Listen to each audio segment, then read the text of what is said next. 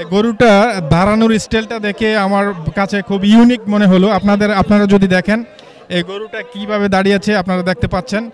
গরুটার মধ্যে একটা ইউনিকনেস একটা ব্যাপার স্যাপার রয়েছে আমি জানার চেষ্টা করব। ভাই ভালো আছেন? জি আসসালামু আচ্ছা আলাইকুম গরুটা অন্যান্য গরু থেকে একটু অস্বাভাবিক মনে হচ্ছে। এটা কেন এমন হচ্ছে এটা মার গর্ভত্ব এটা জাতে এরকম ঠিক আছে? এটা উগুন্নাপা বলে আরই কি? উগুন্নাপা বলে গুণ্যবাউ আচ্ছা দর্শক এটা অন্যান্য গরু থেকে একটু অস্বাভাবিক আমার কাছে মনে হচ্ছে তবে হাঁটতে পারে কিনা? হ্যাঁ যে হাঁটতে পারে।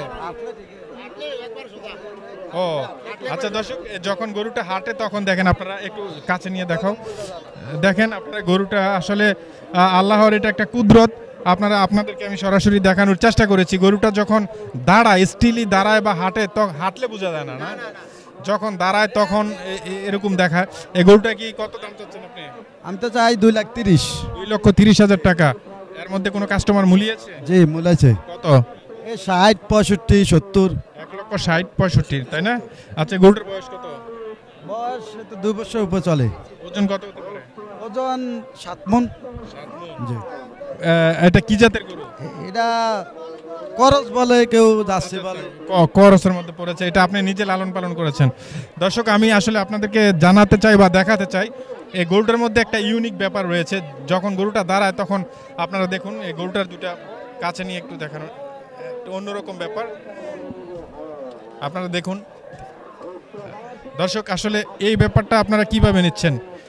গরুটাকে যখন দেখা হয়, এই গরুটা যখন দাঁড়িয়েছে, তখন দেখা যাচ্ছে, মনে হচ্ছে যে অন্যরকম একটা অস্বাভাবিক ব্যাপার। কিন্তু গরুটা জন্মগতভাবে এই সমস্যা, যদিও সমস্যা না, গরুটা কিন্তু সব কিছু ঠিকঠাক রয়েছে বাট দাঁড়িয়ে থাকলে কিন্তু এরকম দেখা যায়। আপনারা দেখেন, গরুটা হাঁটলে কীরকম হয় একটু দেখাতে পারবেন ভাই?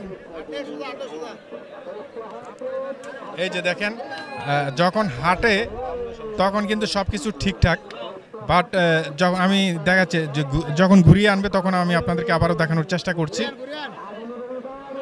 কিন্তু গরু সব কিছু ঠিকঠাক রয়েছে বডি স্ট্রাকচার সব কিছু ঠিক রয়েছে বাট হাটে যখন, তখন কিন্তু ঠিক রয়েছে।